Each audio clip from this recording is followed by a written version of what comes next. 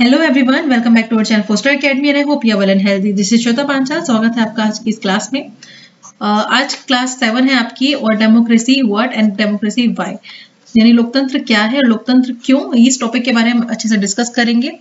संभव बैच है ये जिसमें कि आपको सारे के सारे टॉपिक्स आपको प्लेलिस्ट यहाँ पर मिल जाएगी। D triple S P TGT social science की प्रिपरेशन के लिए आप चैनल को सब्सक्राइब कर सकते हैं। और माफ़ी चाहती हूँ क्योंकि पिछले कुछ दिनों से वीडियोस नहीं आ पाई है कुछ अर्जेंट काम था इस वजह से। तो कंटिन्यू होगी क्लासेस इसके अलावा इकोनॉमिक्स की भी वीडियोस शुरू कर दी है मैंने, जिसमें कि आपकी प्रीवियस ईयर के जो क्वेश्चंस हैं, वो डिस्कस किए जाएँगे. तो बने रहिए फोस्टर अकेडमी के साथ मेरे साथ और चलिए क्लास स्टार्ट कर लेते हैं. टॉपिक को बहुत अच्छे से क्लियर करने की यहाँ पर कोशिश की जाएगी. इन दिस चैप्टर इस चैप्टर में या इस टॉपिक में, जिसका नाम है आपका democracy what and democracy why यानी लोकतंत्र क्या और लोकतंत्र क्यों? हमें लोकतंत्र, पहले तो हम ये पता करने की कोशिश करेंगे कि जो लोकतंत्र है डेमोक्रेसी है ये क्या है? और बेसिकली हम आज इस वाले चैप्टर में तो एक शासन व्यवस्था के रूप में इसको समझने की कोशिश करेंगे कि कैसी शासन व्यवस्था और हमें क्यों चाहिए, ठीक है? इससे पहले हमने लोकतंत्र के बारे में काफ़ी बात की है कि लोकतंत्र एक, किस तरीके की एक कह सकते हैं शासन व्यवस्था या फिर शासन तंत्र है। दूसरी बात यहाँ पर यह है कि लोकतंत्र तो है, लेकिन क्या लोकतांत्रिक तरीके से वहाँ पर चुनाव होते हैं? लोकतांत्रिक तरीके से वहाँ पर सारी चीज़ें होती हैं या नहीं? जो दल है, क्या वो है? क्या जो स्ट्रक्चर है देश का, वो पूरा डेमोक्रेटिक है या नहीं? क्योंकि हम आमतौर पर बोल लेते हैं ना कि मेरे जो फैमिली है, वो एक डेमोक्रेटिक डेमोक्रेटिक फैमिली है। ठीक है? इसका मतलब क्या हुआ? यानी कि जब डिसीजंस लिए जाएँगे तो एक डेमोक्रेटिक फैमिली होने के नाते, यानी कि हमारे फैमिली में सबको इक्वली ट्रीट करते हैं और सभी को बराबरी मिली हुई है। तो वहाँ पे छोटे से छोटे और बड़े से बड़ा जो फैमिली मेंबर होगा, उसको कंप्लीट राइट right मिलेगा अपनी बात को बोलने का, ठीक है? तो जो भी डिसीज़न मेकिंग होगी, उसमें सभी की राय को लिया जाएगा और फिर एक पॉइंट पर पहुँच जाया जाएगा और वहीं पर डिसीज़न ले लिया जाएगा। तो ये क्या, ये एक एग्ज़ाम्पल है एक डेमोक्रेटिक फैमिली का। तो एक डेमोक्रेटिक सोसाइटी और एक डेमोक्रेटिक कंट्री तो एक बहुत ही सिंपल सी सिचुएशन है ये, है ना? तो लोकतंत्र क्या है और लोकतंत्र की ज़रूरत हमें क्यों है? ये सब चीज़ें हम यहाँ पे समझने की कोशिश करेंगे। इंट्रोडक्शन में मुझे आपको ये बताना था कि इसकी क्या क्या विशेषता है मेनली यहाँ पर मुझे आपको ये चीज़ें बतानी है कि हम इस चैप्टर में क्या क्या पढ़ने वाले हैं। तो लोकतंत्र के बारे में आपको कैसे पता चलेगा कि कौन सी कंट्री जो है, लोकतांत्रिक कंट्री है कि नहीं है, जब हम ये पता लगा पाएँगे कि जो विशेषताएँ हैं, एक लोकतांत्रिक देश में जो विशेषताएँ होनी चाहिए, क्या वो फुलफिल हो रही है? है ना, समझ गए? यानी उस पर्टिकुलर देश में लोकतांत्रिक कहलाने के लिए जो जो चीज़ें होनी चाहिए, क्या वो चीज़ें उस कंट्री में है? अगर है तो वो देश एक लोकतांत्रिक कंट्री है। और जैसे जैसे हम इस चैप्टर में इस टॉपिक में आगे बढ़ते जाएँगे तो समझेंगे कि लोकतंत्र सिर्फ़ एक शब्द नहीं है, इसका और बहुत ही बड़ा आ, मतलब है ठीक है? ब्रॉड वे में इसको समझने की कोशिश करेंगे इसकी परिभाषा के साथ ठीक है? और कुछ कंट्रीज़ का भी हम यहाँ पर एग्ज़ाम्पल लेंगे जिनके हालात अलग अलग रहे हैं और उनको समझने की हम कोशिश करेंगे। तो सबसे पहले हम यहाँ पर देख लेते हैं कि लोकतंत्र क्या है इसकी परिभाषा देख लेते हैं। तो लोकतंत्र सरकार का एक ऐसा रूप है जिसमें शासकों का जो चुनाव है वो कौन करते हैं? लोग करते हैं यानी कि जैसे कि डेमोक्रेटिक मैं हमेशा आपको एक चीज़ समझाती हूँ कि डेमोक्रेटिक कंट्री एक किसी भी अन्य तरीके की शासन की तरह ही है, ये एक तरीके का तंत्र है शासन करने का, जैसे कि कहीं पर एक राजतंत्र हो सकता है, ऐसे ही एक लोकतंत्र है, यहाँ पर राजा का शासन होता है, यहाँ पर लोगों का शासन होता है, ठीक है? और लोगों का शासन का मतलब नहीं है कि सारे के सारे लोग जो है वो गद्दी पे आकर बैठ गए हैं, राजा वाली, नहीं, ऐसा नहीं है कि लोग चुनाव करेंगे उस व्यक्ति का जो उनकी तरफ़ से देश को चलाने का काम करेगा और जिसके पास सारी पावर्स होंगे डिसीज़न मेकिंग वगैरह, ठीक है? मतलब डायरेक्ट पावर्स नहीं होगी। वैसे तो क्योंकि डेमोक्रेटिक कंट्री है तो वहाँ पर ऐसा नहीं कि एक व्यक्ति के हाथ में पावर होगी। अलग अलग इंस्टीट्यूशन होंगे, जैसे कि जुडिशरी है आपका, इसके अलावा विधायिका है, कार्यपालिका है, ठीक है एग्जीक्यूटिव हुआ जुडिशरी हुई, इसके अलावा आपका कार्यपालिका हुई तो ये सब चीज़ें हैं ये मिलकर अपना काम करेंगी अपने अपनी जगह पर रहकर, ठीक है? अब देख लेते डेमोक्रेसी यूनानी शब्द डेमोक्रेशिया से बना है। यूनानी में, यूनानी जो लैंग्वेज है, उसमें डेमोस का क्या अर्थ होता है? इसका अर्थ होता है लोग, और क्रेशिया का अर्थ होता है शासन। तो इस तरीके से हम कह सकते हैं यहाँ पर लोगों का शासन, यानी जनता का शासन। तो डेमोक्रेसी को हम समझ गए हैं। ये जो डेफिनेशन है, ये आपको पता होनी ही चाहिए कौन सी? ये वाली। अब्राहम लिंकन ने क्या कहा? लोगों के लिए लोगों की और लोगों के द्वारा चलाने वाली जो शासन व्यवस्था है, उसको ही लोकतंत्र कहा जाता है। यानी एक लोकतंत्र में जनता जो है, वो सबसे ज़्यादा इंपॉर्टेंट वर्ड है। तो लोगों के लिए होगा शासन? लोगों के लिए शासन होगा, ठीक है? और एक तरीके से लोगों का शासन होगा और लोगों के द्वारा चलने वाली व्यवस्था होगी, ठीक है? तो ये चीज़ आपको समझने की ज़रूरत है। लोकतंत्र शब्द तो हमने समझ लिया है, लेकिन क्या सिर्फ़ लोकतंत्र जो शब्द है जैसा दिख रहा है, वैसा है?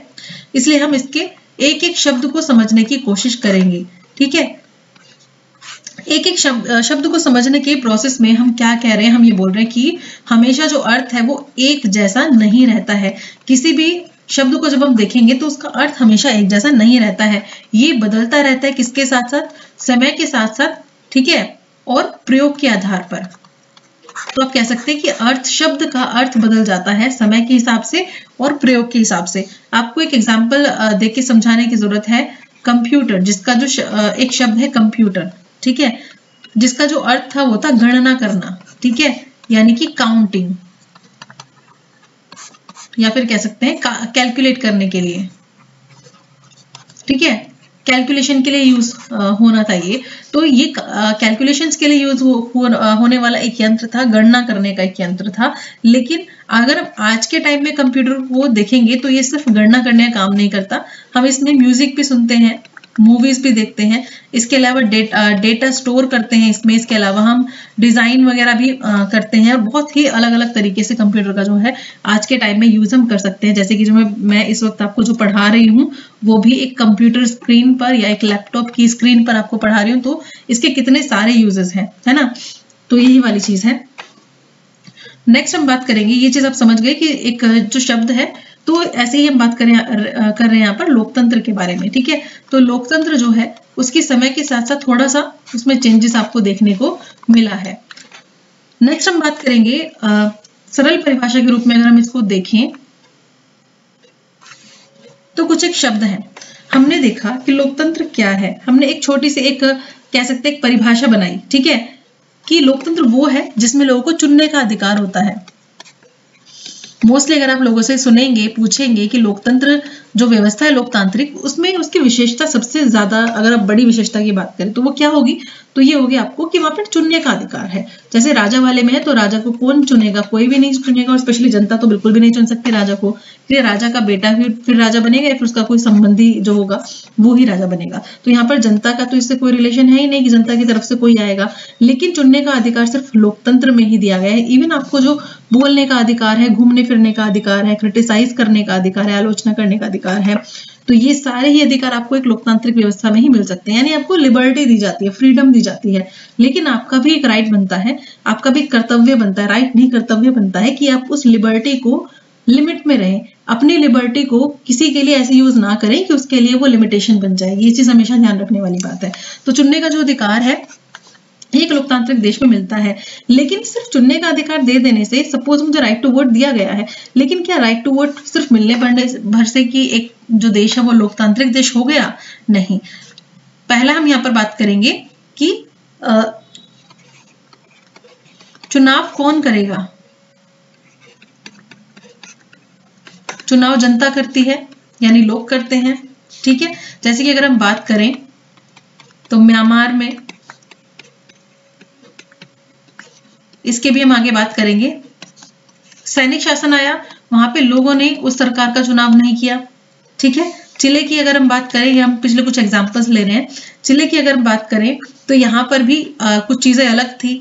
इसके अलावा नेपाल की अगर राजा की बात करें तो उसका जो चुनाव है वो लोगों के हाथ में थोड़ी ना है।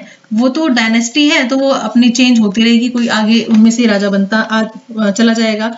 अगर हम सऊदी अरब की बात करें तो यहाँ पे भी आपको शाह का शाह के पद के बारे में पता होगा, ठीक है? वो भी ऐसे ही बना रहता है, वहाँ पे भी लोगों को, लोगों का कोई पार्टिसिपेशन ऐसा नहीं होता है कि किस तरीके से सिलेक्शन होगा, नहीं होगा, वो अपने आप से ऐसे पद चलता आ रहा है। तो एक डेमोक्रेटिक कंट्री में ऐसा होता है कि एक, देखिए, हर इंसान अपने आप को एक अच्छा इंसान बताना चाहता है, ठीक है? ऐसे ही जो व्यवस्था है सपोज़ हम लोकतांत्रिक व्यवस्था की बात कर रहे हैं तो इसमें भी दो तरीके की चीज़ें को आपकी, आपको देखने को मिलेंगी।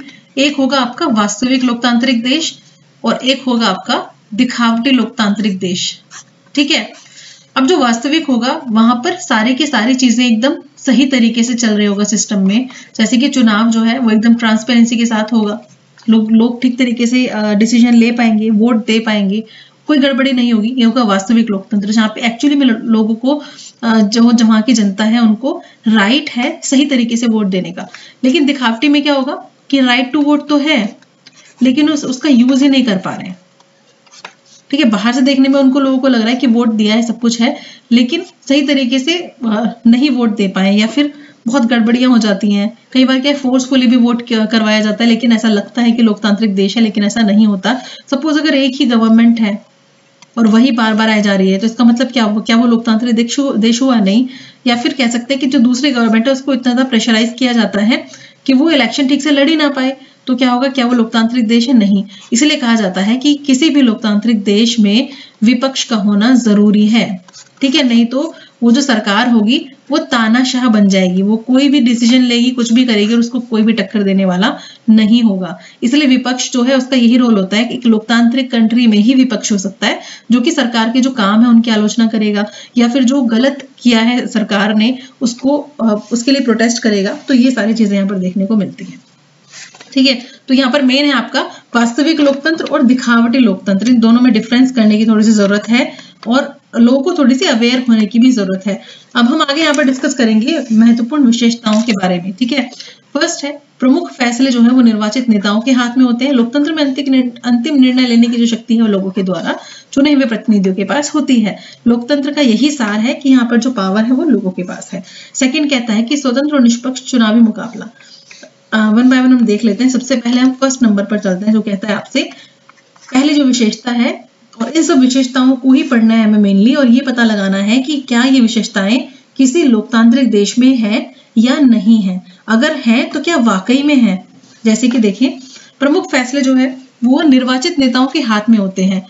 लोकतांत्रिक सरकार चुनी गई, हमारे प्रतिनिधि चले गए, लेकिन लोकतंत्र में अंतिम जो निर्णय लेने की शक्ति है वो लोगों के द्वारा चुने गए प्रतिनिधियों के पास ही होती है। ठीक है, यहाँ पे आपको एक फ़ोटो नज़र आ रहा है। फ़ोटो एग्ज़ाम्पल के थ्रू हम समझने की कोशिश करते हैं। अलग अलग कंट्रीज़ के हम एग्ज़ाम्पल लेंगे यहाँ पर।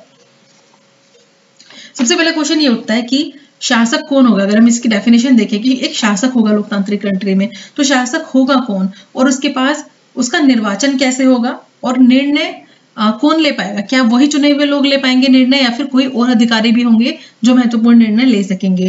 दूसरी बात अगर हम बात करें चुनाव की तो चुनाव जो है क्या वो सबको दिया जाएगा? वोट देने के लिए अधिकार और वो चुनाव लड़ेंगे कौन? ये सब भी सिचुएशन देखने को मिलती है। कौन लोग लोग होंगे जो शासक को चुनेंगे? ठीक है, ये थर्ड वाला पॉइंट में मैं बोलना चाहूँगी कि वो कौन लोग होंगे जो कि शासक को चुनेंगे? तो शासक को चुनने का जो राइट है, वो तो किसको दिया जाता है? लोगों को दिया जाता है। क्या सभी को दिया जाएगा? क्योंकि हमने स्टार्टिंग से देखा है कि बहुत सारी कंट्रीज़ में जो राइट टू वोट है, वो सभी को दिया नहीं गया। धीरे धीरे धीरे धीरे मूवमेंट चले काफ़ी ज़्यादा इन चीज़ों को लेकर। तो अब फाइनली तो मोस्टली कंट्रीज़ में ये अधिकार हैं। सऊदी अरब की बात करें तो वहाँ पर थोड़ा सा प्रोटेस्ट देखने को मिलता है महिलाओं के लिए। महिलाओं से रिलेटेड कि उनको राइट टू वोट दिया जाना है या नहीं दिया जाना है। फिर है फाइनली कौन सा रूप होगा जिसको हम लोकतांत्रिक कहेंगे? तो एक एग्ज़ाम्पल लेते हैं यहाँ पे पाकिस्तान का। पाकिस्तान में उन्नीस सौ निन्यानवे के तख्ता पलट के बाद जनरल परवेज मुशर्रफ पाकिस्तान के मुखिया बन गए। इनकी क्या स्टोरी थी? ये जो है, इनका नाम है, ये पाकिस्तान के टेंथ प्रेसिडेंट थे, ये आपको ध्यान रखना है। प्रेसिडेंट थे, अब ये नहीं रहे ठीक है? फिफ्थ ऑफ़ फेब 2023 में तक इनका जीवन काल रहा, ठीक है? ये चीज़ आपको ध्यान रखनी है। तो इनका जो रूल था मेनली 2001 से 2008 तक था मेनली ठीक है? और इनकी जो आर्मी है आर्मी के ये मेन रहे हैं, इसलिए इनका जो मोस्टली जो इनका जो पर्सपेक्टिव रहा है, वो आर्मी से रिलेटेड ही रहा है, ठीक है? तो यहाँ पर क्या हुआ था कि इन्होंने क्या किया था? सैनिक तख्ता पलट कर दिया था और जो सरकार थी उस वक्त वहाँ पर, जो निर्वाचित सरकार थी, उसको हटा दिया गया और उन्होंने जो मुखिया है, यानी मुख्य कार्यकारी जो है, जो काम करेगा डिसीज़न लेगा, वो खुद को ही घोषित कर दिया, ठीक है? इसके अलावा हम यहाँ पर एक चीज़ और देखेंगे कि इन्होंने एक चीज़ और लेकर आई है। ये था आपका, अगस्त 2002 में लीगल फ्रेमवर्क ऑर्डर ठीक है? ये लाया गया अगस्त 2002 में। और इसकी वजह से क्या किया गया? इन्होंने आ, कह सकते हैं कि कॉन्स्टिट्यूशन को ही चेंज कर दिया। संविधान जो था उसको बदल डाला। क्योंकि संविधान में तो मेंशन है ना कि आपको लिमिटेशन में ला दिया जाता है कि आप ये काम नहीं कर सकते वो काम नहीं कर सकते आर्टिकल नंबर ये में ये मेंशन है तो आप ये चीज़ नहीं कर सकते। लेकिन उन्होंने एक तरीके का कानून लाया और उसके बाद उन्होंने संविधान को ही बदल दिया चेंज कर दिया। और इस संविधान के चेंज होते ही क्या हुआ? जो प्रेसिडेंट है, सारे की सारी पावर अब किसके पास? प्रेसिडेंट के पास आ गई।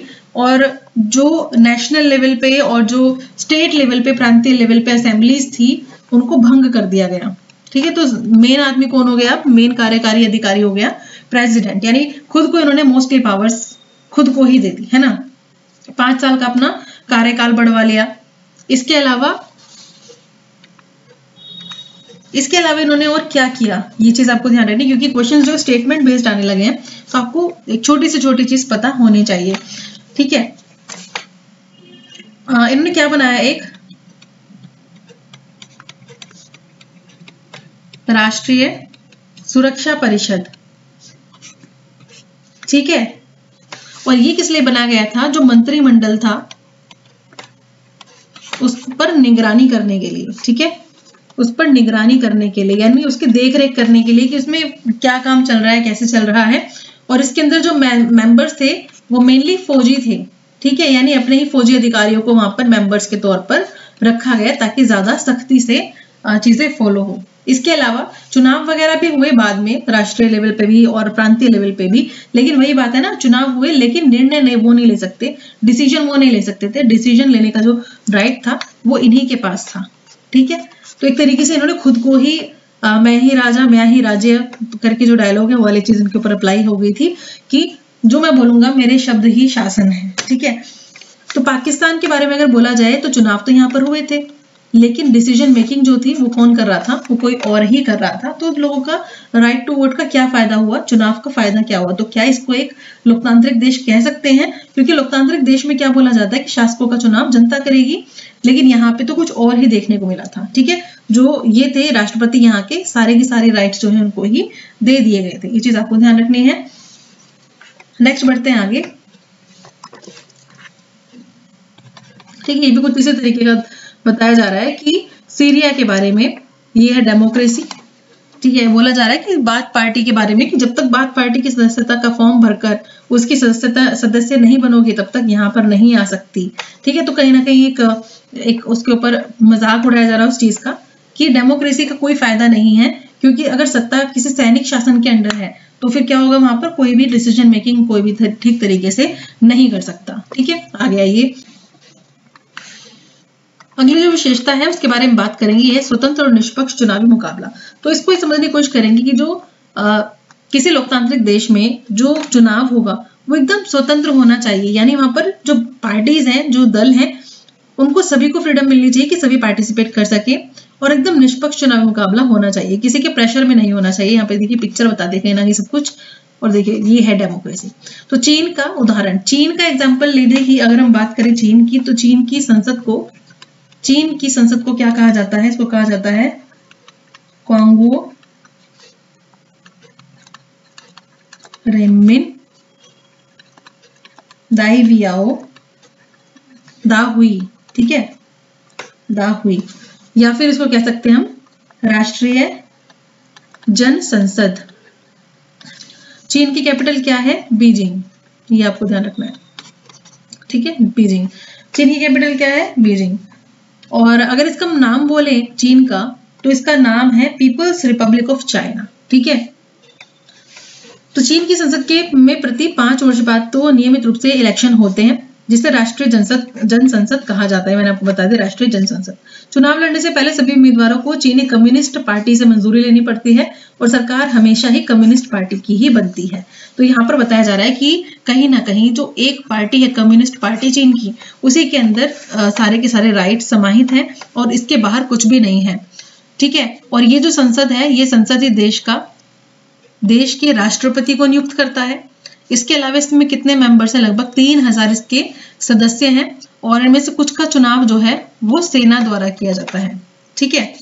तो यहाँ पर चीनी कम्युनिस्ट पार्टी जो है, वो सबसे इंपॉर्टेंट पार्टी है। अगर कोई और पार्टी भी खड़ी होती है एग्ज़ाम सॉरी इलेक्शंस में एग्ज़ाम में बोल रही हूँ इलेक्शंस में कोई और पार्टी अगर खड़ी होती है तो उसको चीनी कम्युनिस्ट पार्टी जो है, उससे मंजूरी लेनी पड़ती है उससे परमिशन लेनी होती है। और आपको पता ही है, अब छोटी पार्टी कैसे आ पाएगी? अगर बड़ी पार्टी है ऑलरेडी इतनी बड़ी पार्टी है तो, तो परमिशन दे या नहीं दे? मोस्टली तो परमिशन दे दी जाती है लेकिन उसको वोट मिल नहीं पाते ठीक है?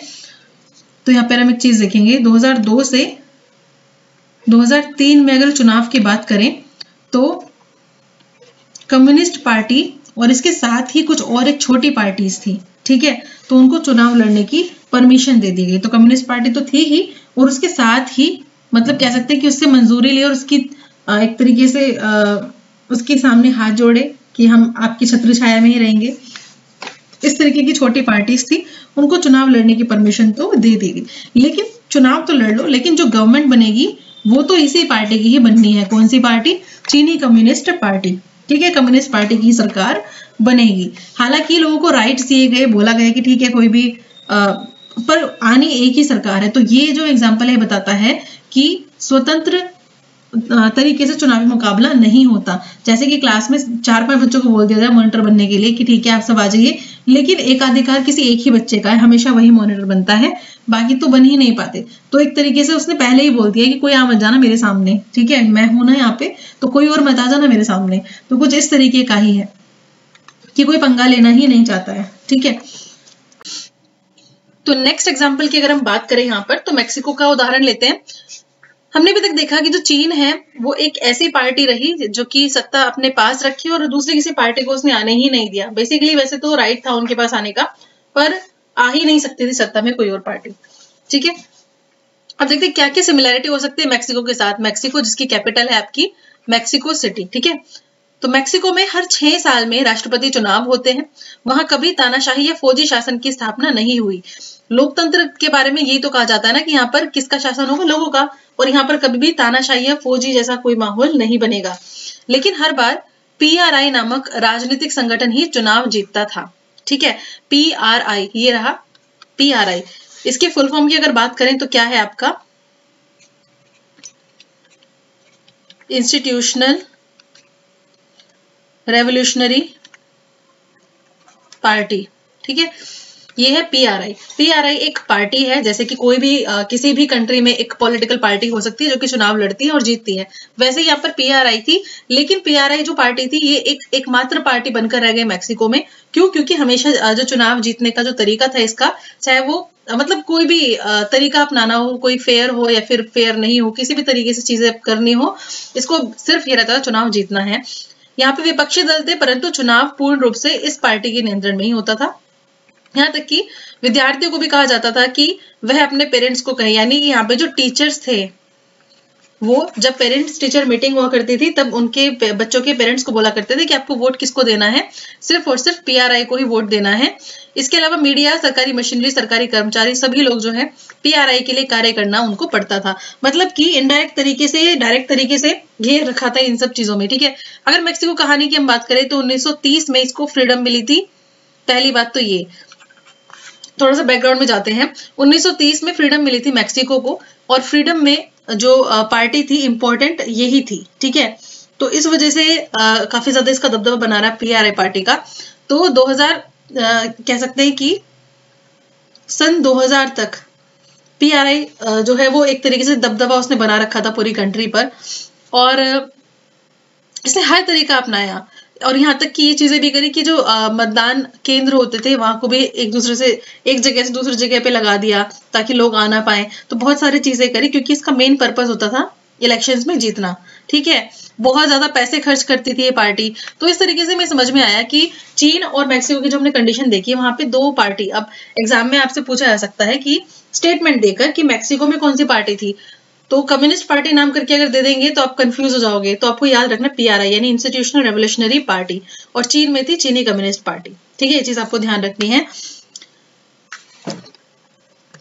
इसके अलावा हम ये देखेंगे कि क्या जो चुनाव है, वो सही तरीके से वहाँ पर हो पा रहे हैं। जैसे कि हमने यहाँ पे निष्पक्ष चुनाव की बात की थी। इस तरीके से हमने देखा कि चीन जो है, उसके पास, लोगों के पास कोई विकल्प नहीं था। ठीक है, वोट देने के अलावा। मैक्सिको में इस पार्टी के अलावा ही विकल्प नहीं था। मतलब कि इनडायरेक्ट तरीके से आ, दोनों ही जगहों पर लोगों को कंट्रोल कर रखा था कि कोई और सत्ता में आ ही नहीं सकता। नेक्स्ट हम बात करेंगे अब एक व्यक्ति एक वोट एक... तो अगले विशेषता की तरफ़ बढ़ते हैं। ये है एक व्यक्ति एक वोट एक मोल यानी कि दस व्यक्ति अगर वोट देने जा रहे हैं तो उन दस व्यक्ति का जो वोट है उनको सेम वैल्यू दी जाए। किसी के वोट को कम ना आका जाए। ठीक है? कम ना समझा जाए किसी के भी वोट को। तो सभी का इक्वल यानी एक व्यक्ति, एक वोट, एक मोल। सबका जो मोल है, मूल्य है वैल्यू है, वो बिल्कुल बराबर होनी चाहिए। एग्ज़ाम्पल के थ्रू समझने की कोशिश करते हैं। सऊदी अरब एक कंट्री है। आप सभी को पता है जिसकी कैपिटल क्या है?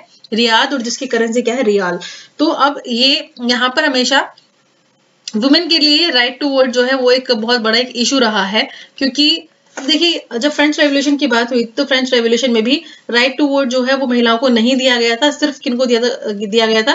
प्रॉपर्टी होल्डर्स मेल थे, ठीक है? उसमें भी एक पर्टिकुलर एक कंडीशंस बना दी गई थी। उसके बाद फिर काफ़ी मूवमेंट हुआ, और आपको पता है सफरेज सफरेज मूवमेंट भी चला था, यानी सार्वभौम व्यस्क मताधिकार। उसके अंदर क्या चीज़ थी कि राइट टू वोट सभी को मिलना चाहिए, चाहे वो अमीर हो, गरीब हो, किसी भी रिलीजन से या फिर किसी भी कास्ट किसी समुदाय से हो, या फिर मेल हो या फीमेल सभी को जो राइट टू वोट है, सबको देना चाहिए।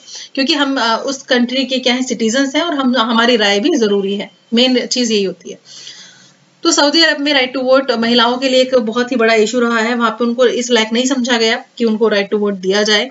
इसके अलावा यहाँ पर हम बात करेंगे एक और कंट्री की जो है एस्टोनिया ठीक है? एस्टोनिया ये एक बाल्टिक प्रदेश की कंट्री है, जिसकी अगर हम बात करें तो यहाँ पर क्या इशू रहा है? रूसी जो अल्पसंख्यक हैं, ठीक है? रूसी जो अल्पसंख्यक हैं, उनका, उनको राइट टू वोट मिलने में काफ़ी ज़्यादा मुश्किलें देखने को मिली।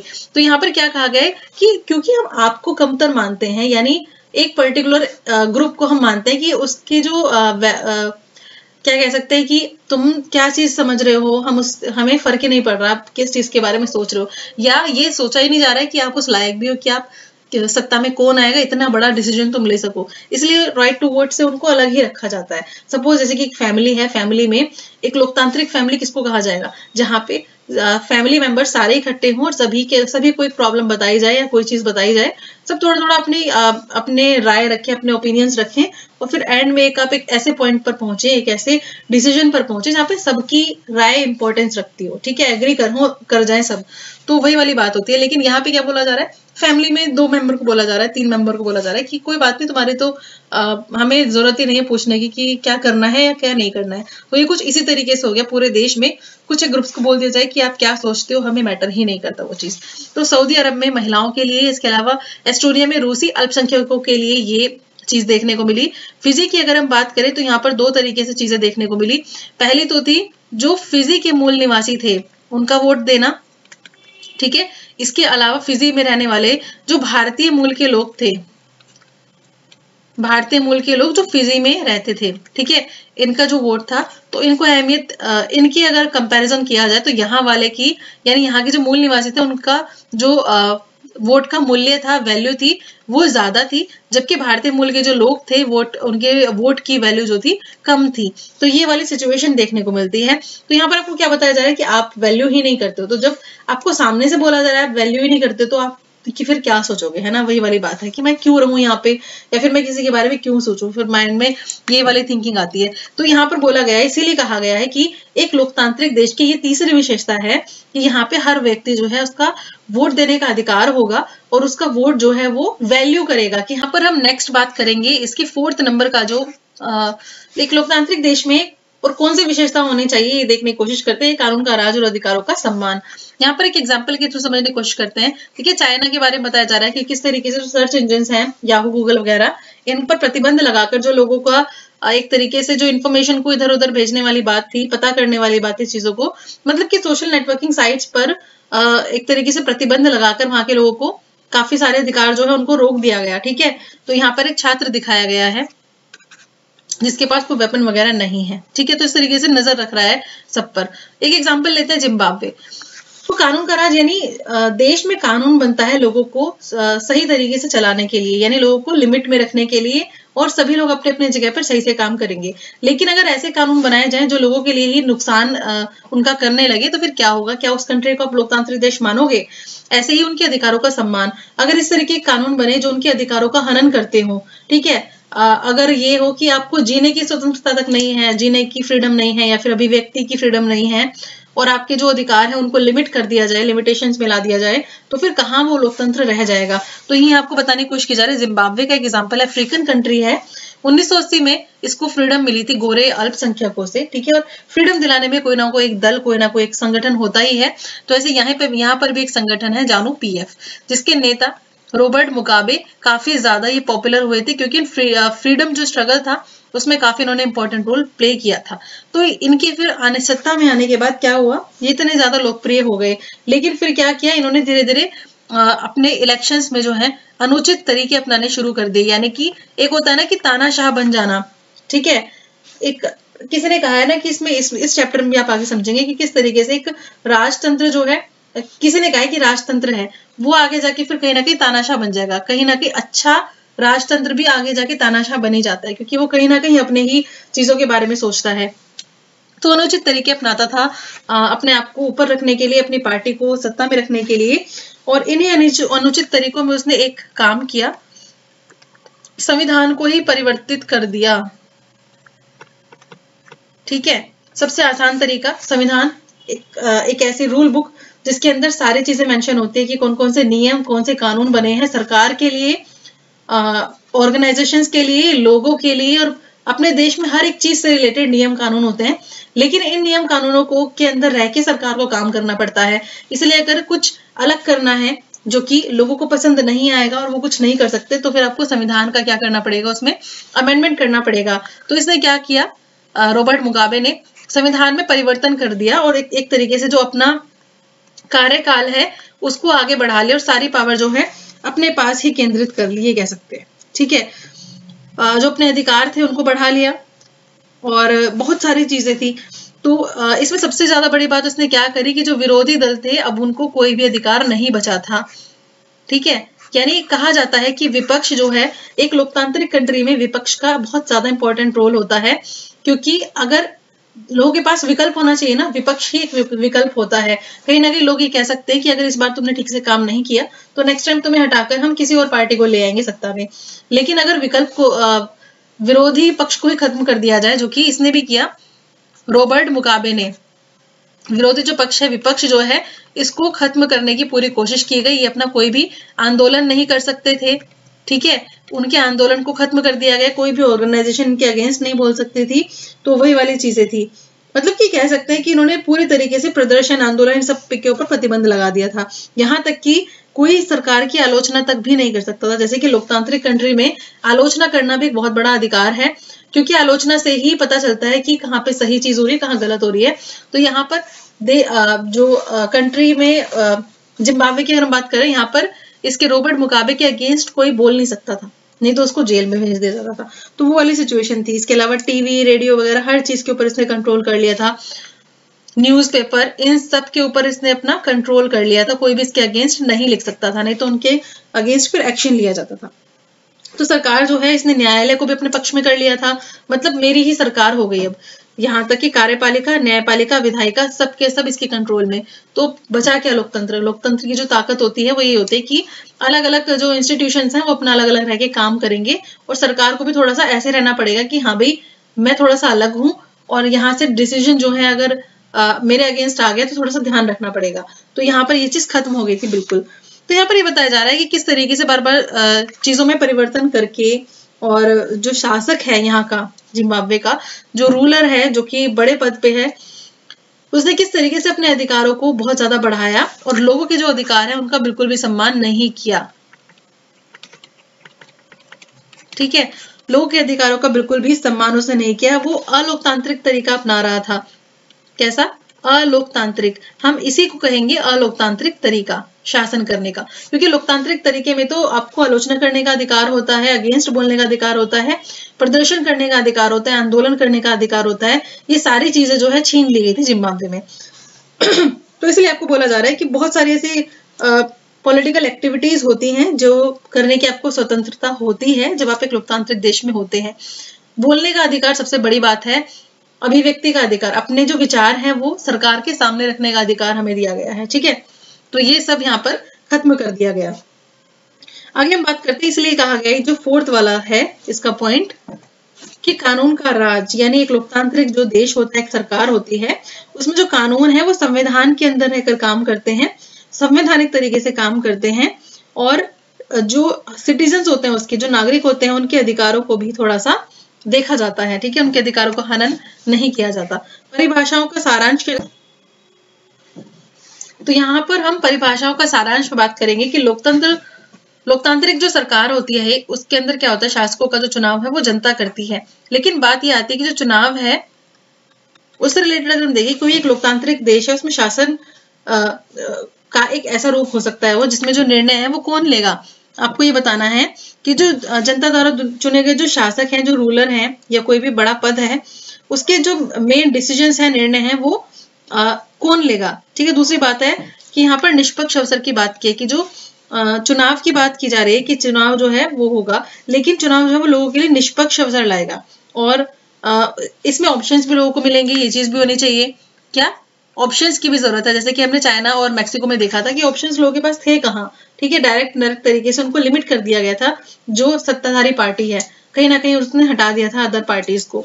तो हमारे पास लोकतांत्रिक देश में तो ऑप्शंस होने ज़रूरी है। अगर ऑप्शंस नहीं है तो वो लोकतंत्र, लोकतांत्रिक देश रह कहाँ गया? फिर है कि क्या जो वो अवसर मिल रहे हैं, वो सबको मिल पा रहे हैं या नहीं?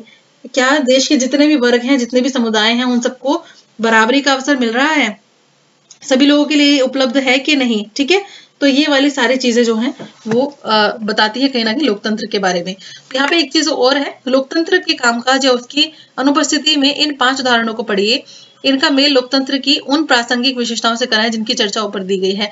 यहाँ पे आपको कुछ एग्जांपल्स दिए गए भूटान के बारे में कि भूटान नरेश ने घोषणा की है कि आगे से वो चुने हुए प्रतिनिधियों द्वारा दी गई सलाह पर काम करेंगे।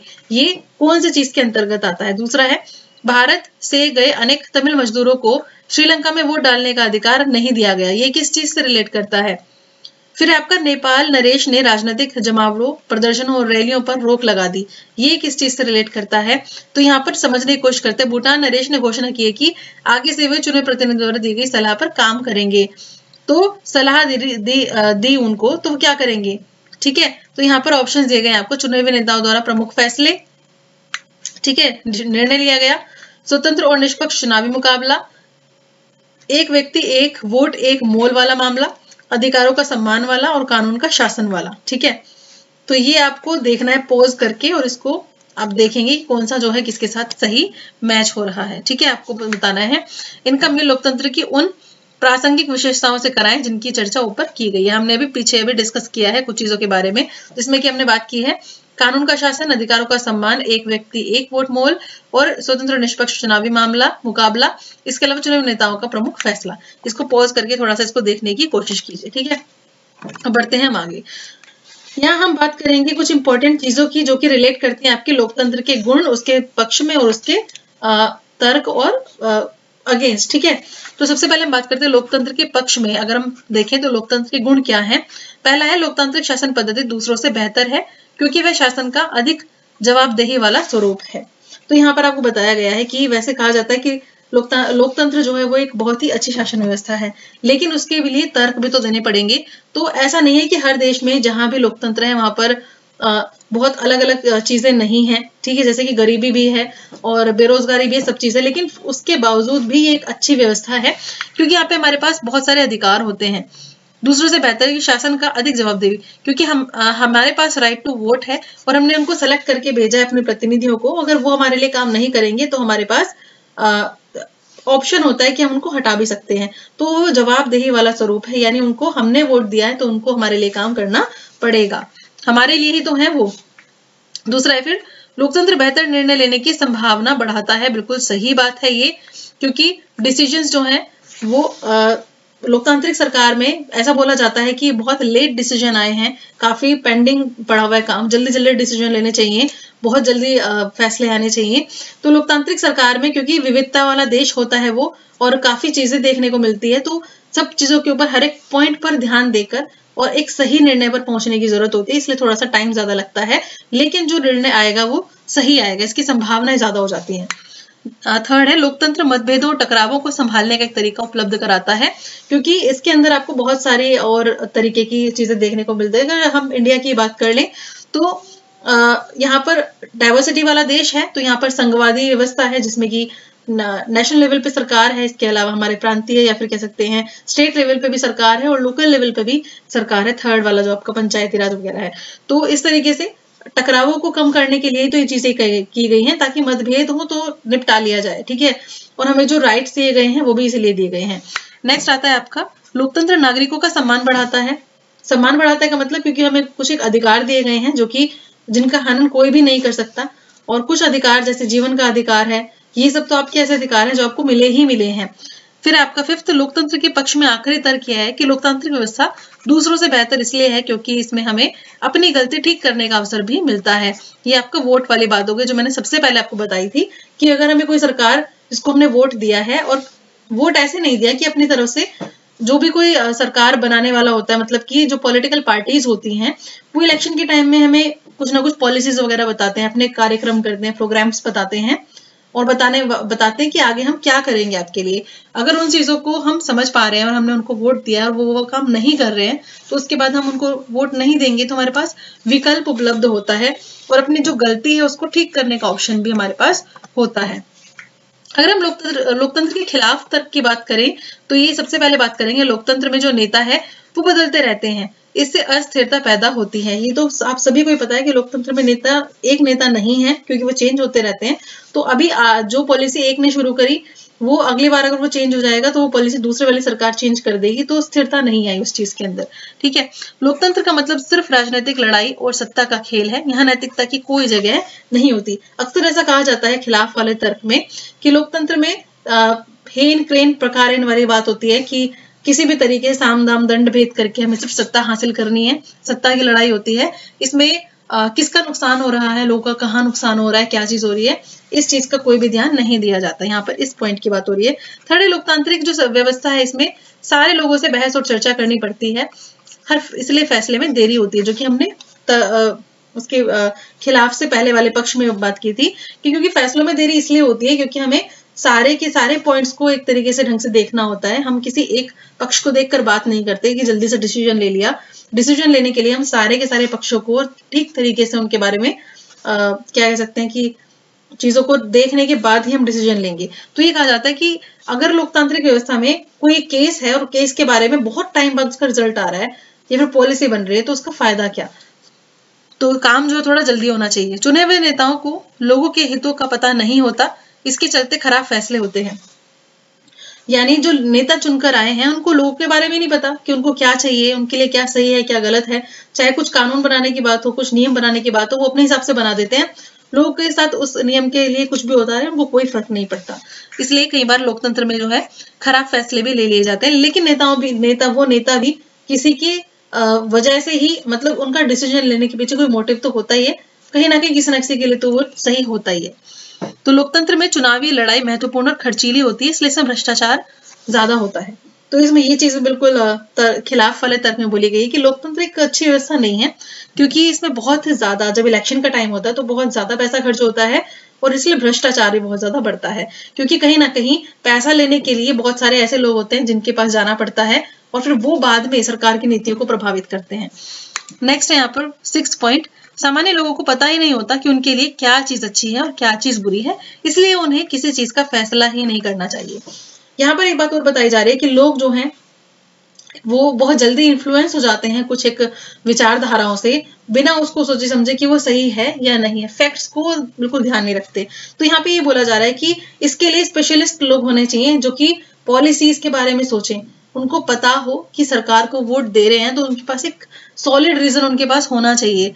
और उसमें उनका स्वार्थ अपना भी होना चाहिए कि हमारी जॉब्स है हमारा क्या चीज़ है जो कि हमें आ, सबसे पहले प्रायोरिटी हमारे किस चीज़ की है उसको देख के वो वोट करे ना कि और बहुत सी चीज़ों को देखकर। तो सामान्य लोगों को पता ही नहीं होता कि उनके लिए क्या अच्छा है। उनको जिस तरीके से कई बार क्या होता है कि सरकार तानाशाही भी हो जाती है और लोगों को पता तक नहीं चल पाता कि तानाशाही चल रही है और उनको लगता है कि सब कुछ सही चल रहा है। तो ये एक लोकतांत्रिक देश में भी पॉसिबल हो सकता है कि लोगों को खुद ही पता ना चले कि हो क्या रहा है। उनको ये लगता है कि सही चल रहा है सब, लेकिन एक्चुअली में वो सही नहीं होता। तो सामान्य लोगों को पता ही नहीं चलता कि उनके लिए क्या चीज़ अच्छी है और क्या चीज़ बुरी है, इसलिए उन्हें फैसला इस बारे में वो ले ही नहीं पाते ठीक तरीके से। ठीक है? तो यहाँ पर आप इस चीज़ को समझ गए हैं इसके तर्क और इसके पक्ष में हमने देखा कि लोकतंत्र जो है वो कैसी एक व्यवस्था है और क्या हो सकता है। तो बस यही है यहाँ पर। लोकतंत्र जो है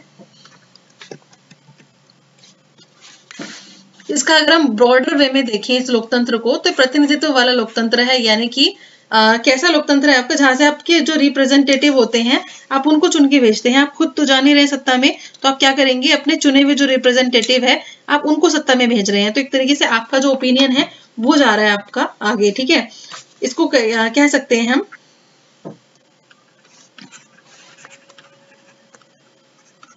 रिप्रेजेंटेटिव डेमोक्रेसी यानी प्रतिनिधित्व वाला लोकतंत्र, जहाँ पे हम डायरेक्ट नहीं पहुँच पा रहे हैं, लेकिन हम वो सभी चीज़ों को जो कि हमारी आइडियाज़ हैं, हमारी पॉलिसीज़ हैं, जो हम चाहते हैं, और कुछ एक उम्मीदवार ऐसे मिलते हैं हमें यानी कि क्या किसी पर्टिकुलर पार्टी की कैंडिडेट जो कि हमारी जो विचार हैं, उनको फुलफिल कर रहे हैं या फिर हमारे जो इच्छाएँ हैं कि हम, सरकार ऐसी होनी चाहिए, उनको फुलफिल कर रहे हैं तो उनको फिर भेज देता है। तो प्रतिनिधित्व का मतलब है कि हमारी तरफ़ से चुने गए जो लोग हैं, वो जाके सत्ता में बैठ रहे हैं, ठीक है? हम तो जाके बैठ नहीं सकते कुर्सी पे, लेकिन हमारे ओपिनियन बैठ रहे हैं वहाँ पर जाकर। तो वही वाली बात है, इसलिए उन्हें हमारे लिए काम करना पड़ेगा। तो इसलिए हम यहाँ पे बोला जा रहा है कि इस पर्टिकुलर टॉपिक में हमने क्या पढ़ने की कोशिश की है? हमने एक तरीके समझे तो लोकतंत्र के बारे में वैसे नहीं पढ़ा कि लोकतंत्र क्या है। एक तरीके से लोकतंत्र कैसी शासन प्रणाली है, हमने ये समझने की यहाँ पर कोशिश की है। शासन प्रणाली के तौर पर, तभी हमने सबसे पहले समझने की कोशिश की कि लोकतंत्र की जो विशेषताएँ हैं, वो क्या क्या हैं। ठीक है, न्यूनतम विशेषताएँ कि ये सब चीज़ें तो एक लोकतांत्रिक देश में होनी ही चाहिए, नहीं तो उसको लोकतांत्रिक देश देश कह ही नहीं सकते। तो ये वाली चीज़ है। यहाँ पर एक पॉइंट देखिए आप आधुनिक लोकतांत्रिक शासन प्रणाली में इतने ज़्यादा लोग होते हैं कि हर बात के लिए सबको साथ बैठाकर सामूहिक निर्णय पर पा, कर पाना असंभव हो जाता है। ये आपका क्वेश्चन पूछा गया था। मुझे भी याद नहीं है कि ये कौन से वाले उसमें पूछा गया पर रिसेंटली ही ये क्वेश्चन आया है इससे रिलेटेड और आपसे ये पूछ लिया गया कि लोकतांत्रिक व्यवस्था जो है वो एक अच्छी व्यवस्था है कैसे? ठीक है और फिर आपको स्टेटमेंट के तौर पर ऐसे क्वेश्चन बनाकर दे दिया गया। तो आधुनिक लोकतांत्रिक शासन प्रणाली में इतने ज़्यादा लोग हो जाते हैं कि हर बात के लिए सबको साथ बैठाकर सामूहिक की ई एम आर एस में आया था आपका, याद आ गया मुझे। ई एम आर एस का जो अभी टीजीटी एसएसटी का एग्ज़ाम हुआ था, उसके अंदर शायद मुझे क्वेश्चन देखने को मिला था। यदि यह संभव हो, तब भी प्रत्येक नागरिक के पास हर निर्णय में भाग लेने का समय, इच्छा या योग्यता एवं कौशल नहीं है। तो आपसे पूछ लिया गया कि इनमें से कौन सा कथन सत्य है? तो आपको, अगर पूरा का पूरा कॉन्सेप्ट क्लियर है तो आप अच्छे तरीके से उसको कर सकते हैं। ठीक है ना? तो ये वाली चीज़ है। नेक्स्ट हम बात करेंगे कि लोकतांत्रिक व्यवस्था ठीक है या नहीं। तो देखिए, आप सभी को पता ही है कि लोकतांत्रिक व्यवस्था में सबसे पहली चीज़ तो आपको डिसीज़न लेने के बारे में होती है कि निर्णय जो है वो कौन लेगा। और यहाँ पे जो लोग हैं, उनको भी कहीं ना कहीं अपने जो राइट्स हैं उसके लिए उनको अवेयर होना चाहिए। उनको सिर्फ़ ये पता है कि वोट डाल के आना है। लेकिन ये नहीं पता कि वोट देने तो जा रहे हैं, लेकिन क्या आप अपने दिमाग में सोच के जा रहे हैं? क्या आपके पास पॉलिसीज़ है? आपके जो मेन इश्यूज़ हैं वो क्या है? आप इस देश से क्या एक्सपेक्ट करते हो? ठीक है? तो ये सब चीज़ें जो है, ये आपको माइंड में रखनी चाहिए एक एक वोटर होने के नाते, ठीक है? एक मतदाता होने के नाते। दूसरा कुछ चीज़ और भी है यहाँ पर कि लोकतंत्र का मतलब सिर्फ़ ऐसा नहीं है कि एक शासन व्यवस्था है, एक सरकार द्वारा और लोगों द्वारा एक म्यूचुअल अंडरस्टैंडिंग भी यहाँ पर क्रिएट होनी चाहिए कि हम लोगों को इस चीज़ से प्रॉब्लम है तो सरकार को चीज़ समझनी चाहिए। सरकार कोई डिसीज़न ले रही है तो उस बारे में खुल के लोगों को बताना चाहिए एक तरीके से पारदर्शिता ट्रांसपेरेंसी दिखानी चाहिए कि क्यों ऐसा चीज़ की जा रही है, ठीक है? अगर ये सब चीज़ें रहेंगी तो सब कुछ सही रहेगा। और सबसे बड़ी बात यहाँ पर है राइट्स की, यानी अधिकारों की। अगर लोगों के अधिकारों को पूरी की पूरी इंपॉर्टेंस दी जा रही है, कोई ऐसा कानून नहीं बन रहा है जो लोगों के अधिकारों का हनन कर रहा है, इसका मतलब लोकतांत्रिक, बढ़िया वाली लोकतांत्रिक कंट्री है, ठीक है? डेमोक्रेसी बढ़िया तरीके से काम कर रहा है, पर कहीं ना कहीं डेमोक्रेसी जो है वो इतना ज़्यादा वैसा हो जाता है कि उसमें भी कहीं ना कहीं ऐसा हो जाता है कि एक ही जो पार्टी है, उसी की सत्ता बनी हुई और विपक्ष फिर काम ही नहीं कर रहा क्योंकि विपक्ष के पास कुछ बच ही नहीं पाता है कि वो कुछ कर सके। तो डायरेक्ट और इनडायरेक्ट लोकतंत्र समझने की ज़रूरत है। क्योंकि हर इंसान चाहता है कि मैं अच्छा दिखूं। तो ऐसे ही डेमोक्रेसी भी है। हर एक कंट्री चाहती है कि हम एक अच्छी डेमोक्रेसी लेकिन एक्चुअल अच्छी डेमोक्रेसी और दिखावटी डेमोक्रेसी में फ़र्क है। ठीक है? तो यहाँ पर आपको समझ आ गया होगा। यहाँ की जो संस्थाएँ हैं इंस्टीट्यूशन हैं, वो भी ठीक से काम करने चाहिए एक लोकतांत्रिक देश में। इसीलिए तो हमने बोला है ना कि जो विधायिका है, वो अलग है। नहीं तो एक ही ऑर्गेनाइजेशन बनाते हैं ना, जिसके अंदर संसद भी हो, न्यायपालिका भी हो, और राष्ट्रपति, प्रधानमंत्री और जितने भी बड़े पद हैं, वो सब वहीं पर बैठे लेकिन इनके लिए अलग अलग एक संस्थाएँ हैं, जैसे कि विधायिका है, वो अपने तरीके से काम करेगा। कार्यपालिका है, वो अपने तरीके से काम करेगा। इसके अलावा न्यायपालिका है, वो अपने तरीके से काम करेगा। ठीक है? जुड़े हुए हैं आपस में, लेकिन फिर भी अलग तरीके से काम करेंगे। तो यही है दैट्स इट लोकतंत्र क्या और लोकतंत्र क्यों में हमने पूरी व्यवस्था को समझने की यहाँ पर कोशिश की है। आई होप आपको ये चैप्टर समझ में आएगा, कोई क्वेरी हो तो कमेंट सेक्शन में पूछिए ज़रूर। मिलते हैं अपने नेक्स्ट वीडियो के साथ जल्दी ही। इकोनॉमिक्स की आप क्लासेस लेना ना भूलें, जिसमें कि आपके प्रीवियस ईयर के जो क्वेश्चन है इकोनॉमिक्स के, उनकी पूरी की पूरी सीरीज़ चलाई हुई मैंने, और ये सीरीज़ में हिस्ट्री की भी स्टार्ट करने वाली हूँ। तो thank you so much watching this video